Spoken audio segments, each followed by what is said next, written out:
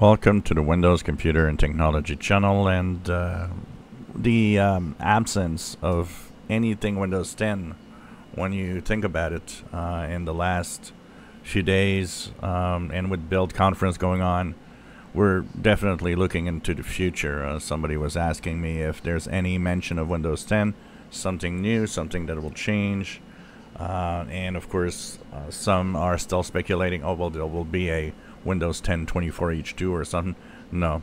Windows 10 is really, really now, uh, and it's obvious by the keynotes, it's obvious by all the presentations and everything that Microsoft talks about that Windows 10 is on its way out.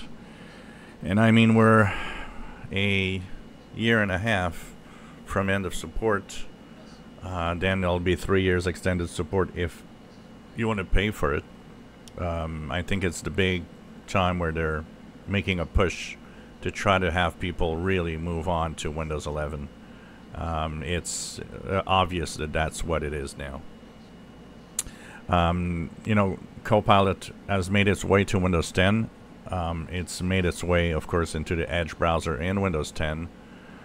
But when you look at that um, and you think about it, um, there will be really much, nothing much to add to it. And Copilot, although can be um, upgraded and made better, it will definitely not be um, the big, you know, AI of Windows 11 and 24H2 in any way.